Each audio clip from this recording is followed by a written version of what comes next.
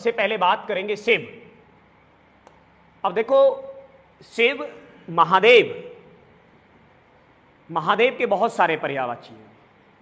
भव सूली सूलपाणी कपाली शंकर कपर्दी शशिशेखर चंद्रशेखर विधुशेखर चंद्रमोली चंद्रचूड़ रुद्र उग्र कामारी गंगाधर तो बहुत सारे हैं भाई अब इन्हें हम कैसे याद करेंगे भाई तो शिव को आप सब लोगों ने देखा है महादेव शिव की जो आ, का जो फ़ोटो है पिक्चर है, उसे आप सब लोग, इमेज है, उसे सबने देखा है।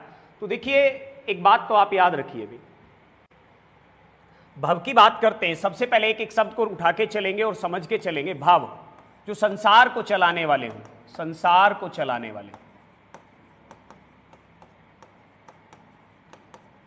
अब देखो, सूली या सूल पानी आपने महादेव के फ़ोटो में देखा होगा, इमेज में देखा होगा, उनके हाथ में, महादेव के हाथ में क्या दिखाई देता है? सूल, त्रिशूल दिखाई देता है। तो इसलिए उन्हें सूल, सूली या सूल पानी कहा जाता है।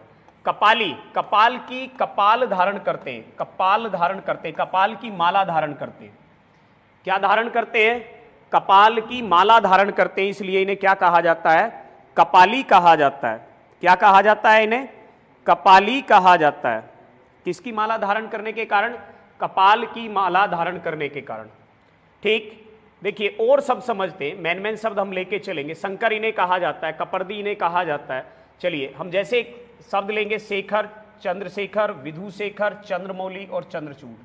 ये सारे शब्द लेते हैं अभी। और ये सब किसके लिए आते हैं? ये सब भगवान महादेव के लिए आते हैं। अब देखिए, यहाँ से इन्हें पहले समझना। ऊपर वाले शब्द भी समझेंगे अभी।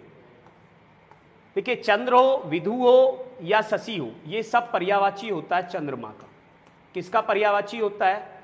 शशि माने चंद्रमा, चंद्र या विधु ये जो शब्द होते हैं, ये किसके पर्यावाची होते हैं? ये सब पर्यावाची होते हैं चंद्रमा के।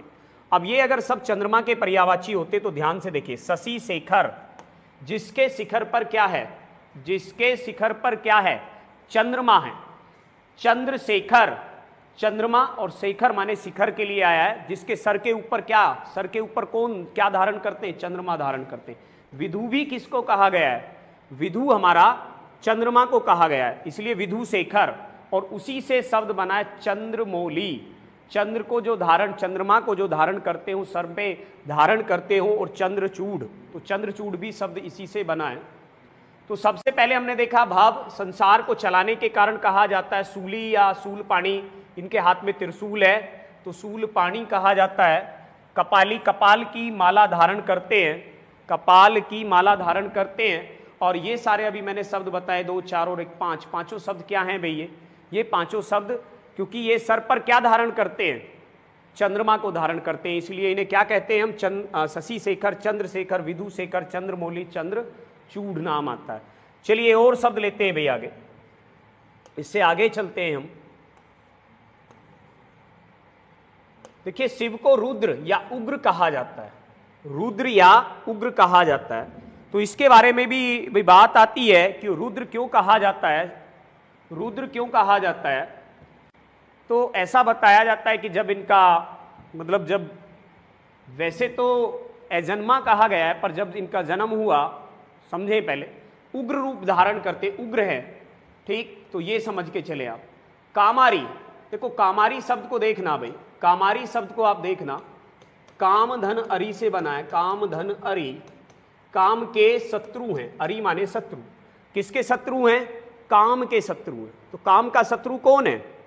जिस पर कामदेव का कोई प्रभाव ना पड़ता हो, वो कौन है? शिव